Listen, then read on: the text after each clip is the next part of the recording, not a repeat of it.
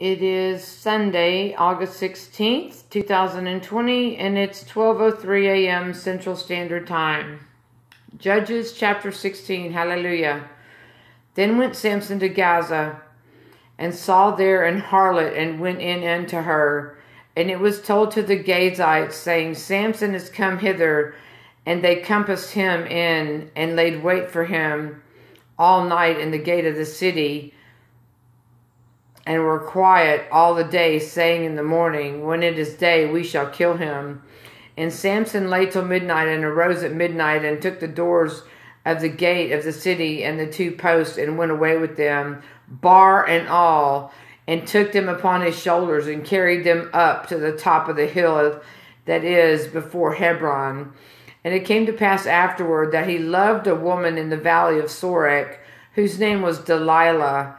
And the lords of the Philistines came up unto her and said unto her, Entice him, and see wherein his great strength lieth, and by what means he may prevail against, we may prevail against him, that we may bind him to afflict him, and we will give thee every one of us eleven hundred pieces of silver. And Delilah said to Samson, Tell me, I pray thee, wherein thy great strength lieth, and wherewith thou mightest be bound to afflict thee. And Samson said unto her, If they bind me with seven green withs that were never dried, then I shall be weak and be as another man. Then the lords of the Philistines brought up to her seven green withs which had never been dried, and she bound him with them. Now there were men lying in wait, abiding with her in the chamber. And she said unto him, the Philistines be upon thee, Samson, and he break the withs, and and a thread of tow is broken when it toucheth the fire, so his strength was not known.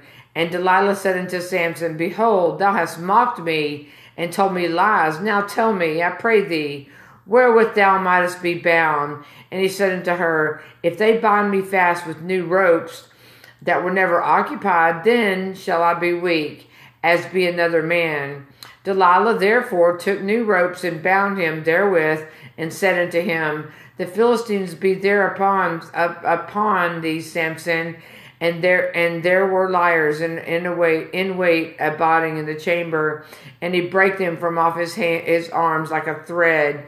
And Delilah said unto Samson, Hitherto thou hast mocked me and told me lies. Tell me therefore, tell me, tell me wherefore wherewith thou mightest be bound.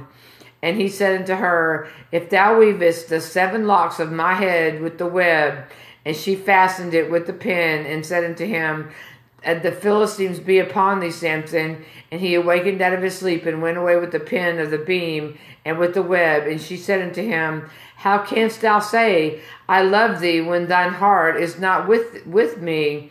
Thou hast mocked me these three times, and hast not told me wherein thy strength lieth. And it came to pass when she pressed him daily with her words, and urged him so that his soul was vexed unto death, that he told her all his heart, and said unto her, That hath not come a razor upon mine head, for I have been a Nazarite unto God from my mother's womb. If I be shaven, then my strength will go from me, and I shall be, become weak and be like any other man. And when Delilah saw that he had told her all his heart, she sent and called the lords of the Philistines, saying, Come up this once, for he has showed me all his heart. Then the lords of the Philistines came up to her and brought money in their hand, and she made him sleep upon her knees. And she called for a man, and he caused him to shave off the seven locks of his head, and she began to afflict him and his strength went from him. And she said, The Philistines be, be upon thee, Samson. And he awoke out of his sleep and said, I will go out as as at, as at other times before and shake myself. And he wist not from from and, and he wist not from and was not that the Lord was departed from him. But the Philistines took him and put out his eyes and brought him down to Gaza and bound him with fetters of brass and did grind in the prison house. Howbeit the hair of his head began to grow again after he was shaven. Then the Lord of the Philistines gathered together for, for to offer a great sacrifice unto Dagon, their God, and to rejoice. For they said, Our God hath delivered Samson, our enemy, into our hand. And when the people saw him, they praised their God, for they said, Our God hath delivered into our hand our enemy and our and the destroyer of our country, which slew many of us. And it came to pass when their hearts were merry that they said, Call for Samson that he may that he may make us sport. And they called for Samson out of the prison house, and he made them sport, and they set him between the pillars.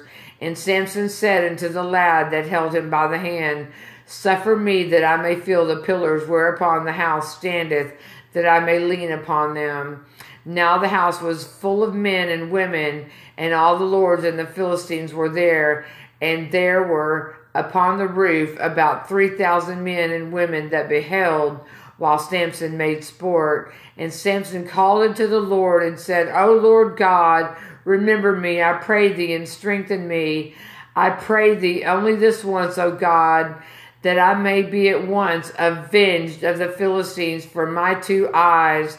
And Samson took hold of the two middle pillars upon which the house stood, and on which it was borne up of one of the one of and, and the one with his right hand and of the other with his left. And Samson said, Let me die with the Philistines. And he bowed himself with all his might.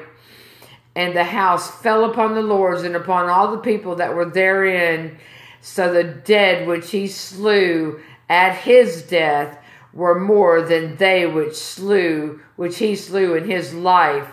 Then his brethren and all the house of his father came down and took him and brought him up and buried him between Zorah and Eshtaol in the burying place of Manoah his father, and he judged Israel twenty years.